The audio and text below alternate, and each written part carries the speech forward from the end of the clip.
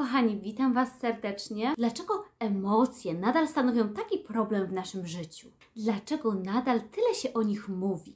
Emocje, oprócz podstawowego zadania, jakim jest informowanie nas, że coś jest nie tak, że coś się dzieje, również niestety wybijają nas z naszego stanu równowagi, z naszej harmonii, spokoju, do czego tak naprawdę dąży się prawie na każdej ścieżce duchowej. Chcemy, aby w końcu nie miotały nami te różne stany emocjonalne aby również wyzbyć się jakiegokolwiek przywiązania do czegoś, co prowadzi do martwienia się, do zamartwiania, umartwiania. Emocje niestety wybijają nas z tego stanu jedności, dostrojenia i myślę, że każdy z nas jest w stanie zauważyć istniejący podział między ludźmi na tych bardziej emocjonalnych oraz tych mniej emocjonalnych.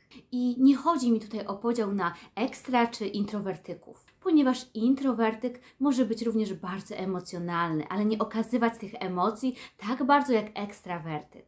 A ekstrawertyk może być tym samym mniej emocjonalny. Są osoby, które mogłoby się wydawać, że nie potrafią funkcjonować ani rozumieć świata, ludzi bez emocji, bo w takim środowisku zostały wychowane. I są też takie osoby, które mogłyby najchętniej żyć bez jakichkolwiek emocji, których emocje męczą oraz męczą ich ludzie, którzy są nadmiernie emocjonalni. Dłuższe przebywanie z nimi jakoby wysysa z nich energię, wysysa z nich życie. Kierują się rozumieniem świata bardziej poznawczo niż emocjonalnie. I też przebywanie w tłumie, bycie na koncercie, wśród krzyczących ludzi, czy uczestniczenie w marszu jest raczej czymś, czego będą bardziej unikać przez obecność fal silnych emocji. Więc Kochani, jeśli należysz do tego typu osób, daj sobie to prawo i zrozumienie, że nie pragniesz w swoim życiu, nie potrzebujesz i nie chcesz mieć do czynienia z wysokimi stanami emocjonalnymi, również tymi pozytywnymi. I to jest jak najbardziej ok. Wszystko jest z Tobą w porządku. Natomiast ludzie, którzy odbierają świat głównie przez pryzmat emocji, odczucia na przykład zazdrości, bezsilności zawodu, podniecenia, wielkiej radości, podekscytowania, ucząc się transformować emocje, zarządzać nimi, również mają szansę na życie w większej harmonii. Co należy tu podkreślić, że mamy te cechy wrodzone. Już rodzimy się ludźmi bardziej emocjonalnymi lub bardziej poznawczymi, czyli takimi, którzy potrzebują porównać jakieś dane, zapoznać się z faktami i próbując pogodzić w rozmowie osobę bardziej mm, poznawczo-logiczną z osobą bardziej emocjonalnie czuciową, bywa to wręcz niemożliwe. Osoby emocjonalne tłumaczą swoje zdanie tym, że po prostu czują coś od środka i dla nich to jest wyznacznik prawdy. A dla osoby bardziej poznawczej istotne są fakty, statystyki, konkretne badania, mierzalne dowody. Dlatego często nie mają oni szans na dogadanie się. Ich dyskusje często się zapętlają i tak naprawdę do niczego nie zmierzają. Może znacie takie osoby w swoim otoczeniu, albo sami doświadczacie takich nieporozumień z własnym partnerem, z własną partnerką. Najlepszym rozwiązaniem jest znaleźć takiego rozmówcę, który posługuje się tym samym językiem co ty.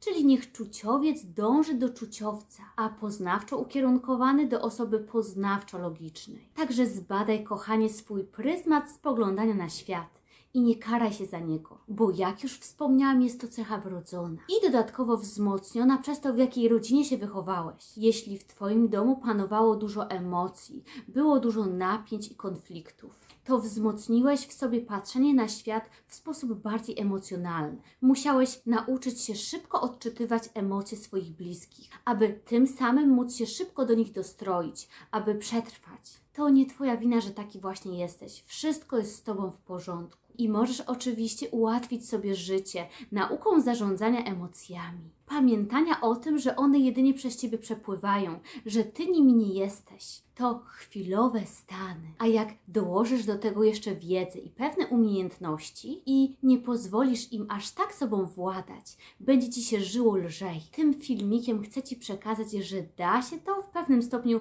modyfikować. Także istnieje predyspozycja wrodzona, jak i nabyta. Środowisko rodzinne do bycia bardziej emocjonalnym lub bardziej poznawczym. I osoby emocjonalne później w dorosłości wręcz kompulsywnie szukają tych emocji. Cały czas muszą z kimś być, odczuwać coś silnego. Inaczej nie czują, że żyją. Oni są w taki sposób nauczeni żyć, w takim akwarium pływać. A ci poznawczy potrzebują więcej spokoju, lubią przebywać bardziej sami ze sobą, ładują baterie dopiero w ciszy, w samotności, bez żadnych bodźców zewnętrznych. I zdradzę Wam, że ja akurat należę do tego typu osób. Uwielbiam być sama ze sobą i wręcz tego potrzebuję od czasu do czasu. I też chciałam wyjaśnić Wam pewną kwestię. W psychologii mówi się, że emocje należy dostrzec, uznać, zaakceptować i pozwolić się im wyrazić, czyli wypłakać się, wykrzyczeć,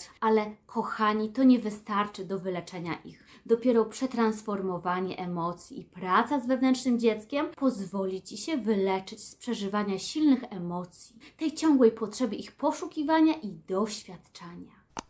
Kochani, mam nadzieję, że te treści są dla Was pomocne. Jeżeli tak, polubcie to wideo, skomentujcie, czy przekażcie je dalej. Do następnego. Jeśli podobał Ci się mój filmik, koniecznie zasubskrybuj mój kanał. Pa!